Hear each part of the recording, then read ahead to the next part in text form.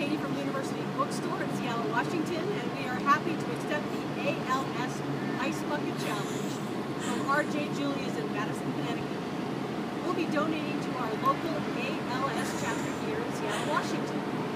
I'd like to pass on this challenge to our friends at Village Books in Bellingham, Washington, and Third Place Books